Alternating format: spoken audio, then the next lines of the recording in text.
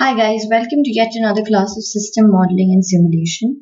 Today we're going to look at the reliability problem that is the bearing problem. So let's get on with the video. Okay, so we have the reliability problem here.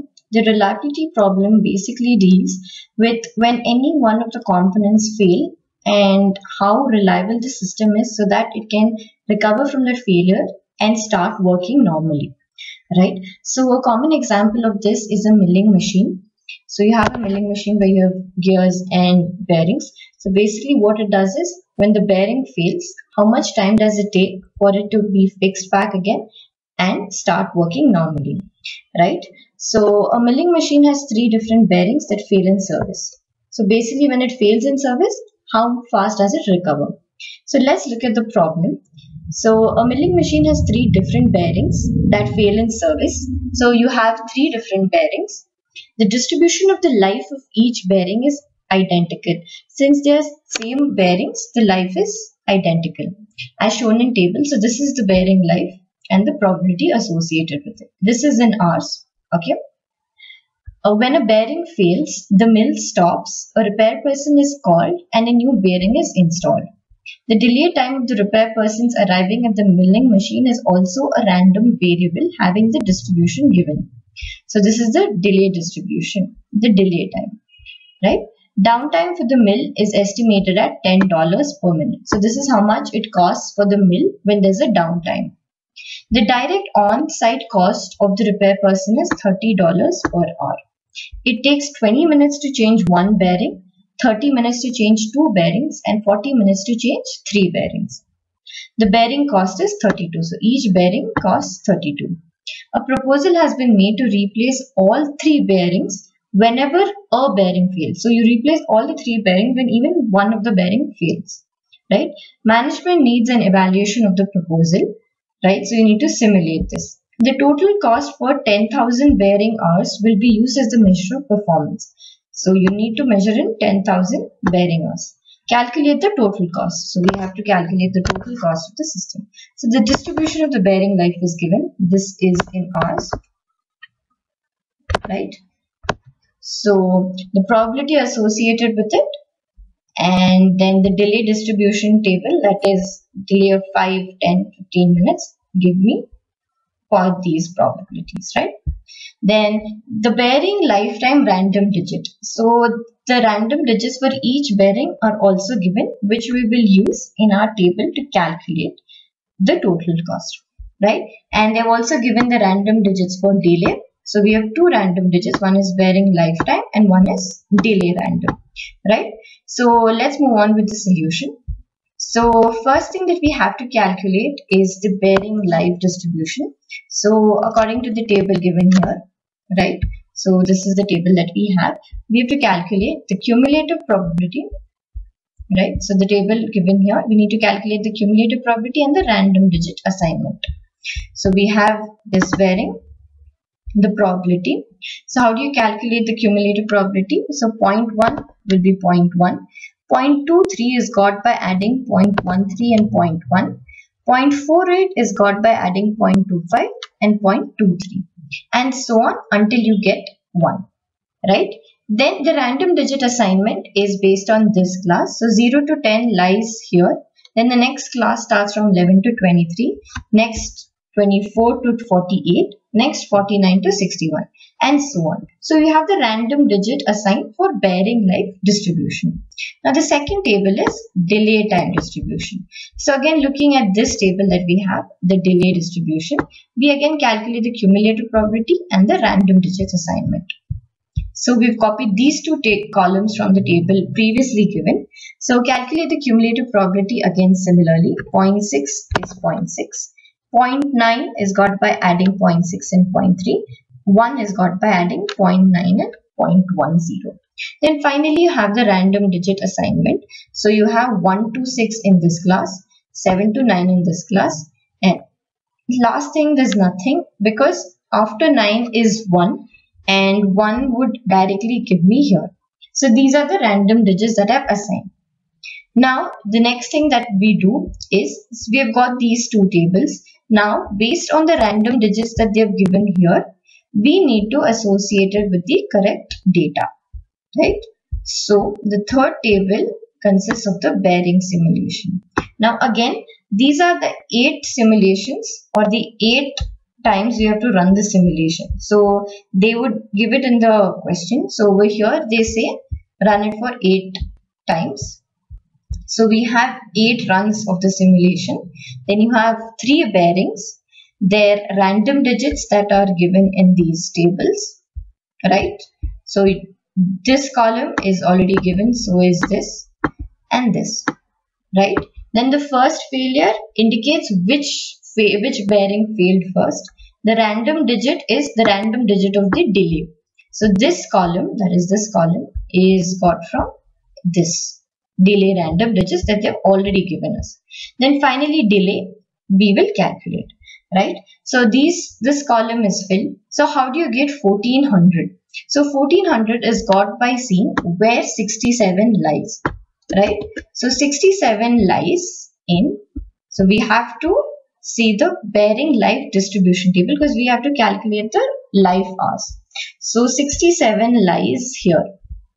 That is 1400. Hence, we write 1400. Similarly, 8, where does 8 lie? 8 lies in 1000. Similarly, we do it for all the random digits and we get bearing 1 life hours. Similarly, for bearing 2, we see where 70 lies. 70 lies here. 70 lies in this column. So that is 1400. Hence 1400. Similarly, we do it for all the rows for bearing 2 and then we finish bearing 3 column for the life hours. Right. So once these few columns are filled, the next thing that we have to see is when did the first failure occur. So first failure is the minimum, is the minimum of this, this and this. So the minimum is 1400. So we say 1400, right?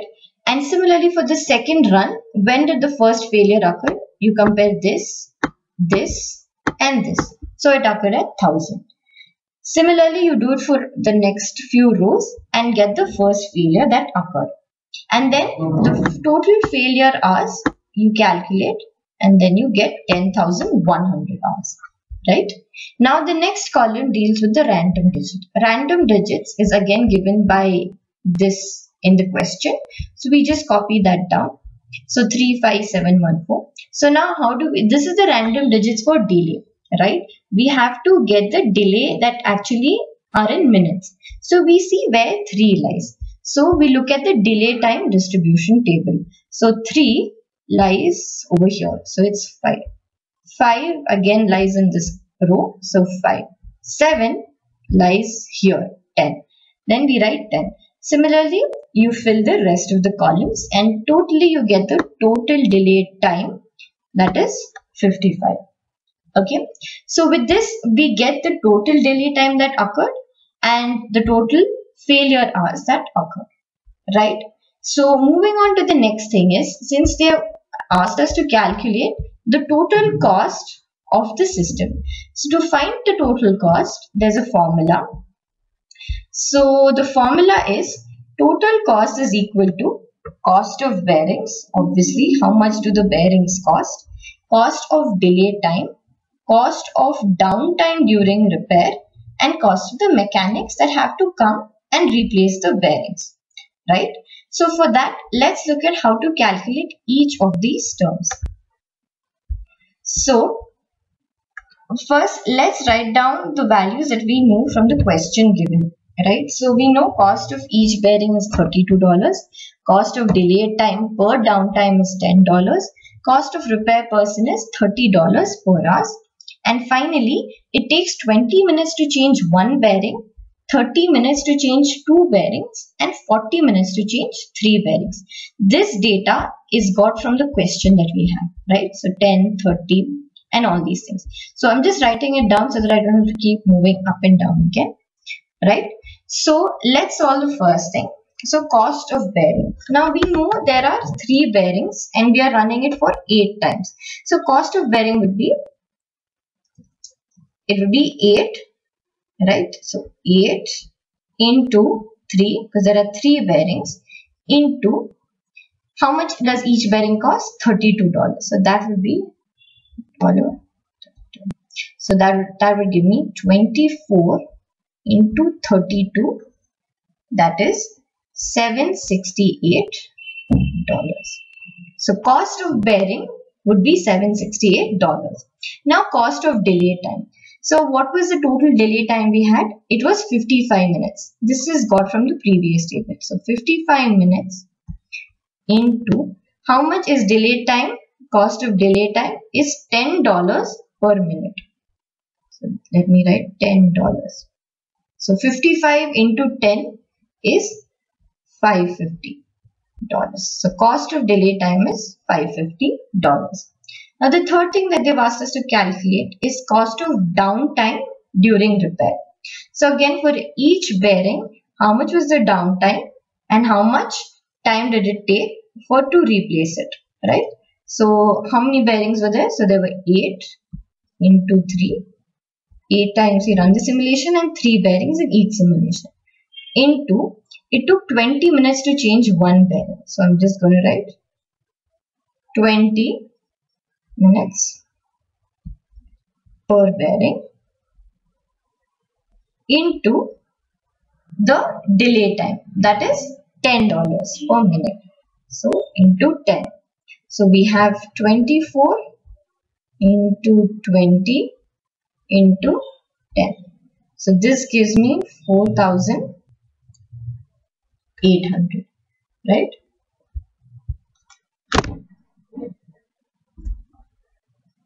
$1,800. So the next thing that we have to calculate is cost of mechanics or repair person. These repair persons have to come and change the bearings. So the cost associated with that. So again similarly we have 8 into 3 bearings into 20 minutes per bearing right and into now for the cost of the repair person is as we have found out cost of repair person is $30 per hour right? So that would be $30 per hour. So this would give me 24 into 20 into 30 whole thing divided by 60 why 60 because it's per hour and we're calculating everything in minutes. So when i calculate this i get $240 right? So cost of mechanics or repair person is $240 then finally to find out the total cost we add all these terms. So that would be cost of bearing 768 plus cost of delay time is 550 then cost of downtime during repair is 4800 and cost of mechanics is 240 when you add this up the total cost gives me 6358 dollars.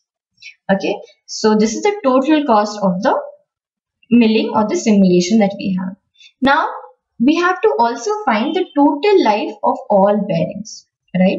So if you know in, in, in the table that we did, the total life hours that we had was 10,100. So what we do is total life of all bearings would be 10,100 into 3. 3 for 3 bearings. So this gives me 30,300 hours. Right? So then the next thing that we have to do is the total cost per 10,000 bearing hours, right? So for 10,000 bearing hours, what we do is, so the total cost is, we calculated was 6358. So 6358 divided by 10,000 bearing hours. So this divided by 10,000 right? So this gives me 3.03 because this is in terms of only hours. When I want it per 10,000 hours, I get 3.03.